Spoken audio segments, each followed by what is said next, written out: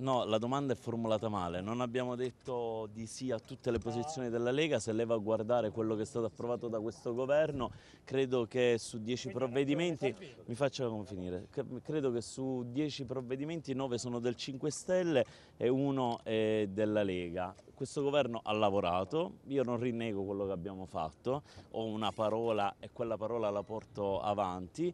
Eh, il lavoro che è stato fatto è stato fatto prevalentemente tutto dal Movimento 5 Stelle. Dopodiché credo che la menzogna del no, eccetera, credo che sia agli occhi di tutti evidente come non mai. Quindi direi, poi se voi volete continuare ad assecondare narrazioni di no, eccetera, i nostri no, fermi, fermi, fermi, fermi, e poi finisco.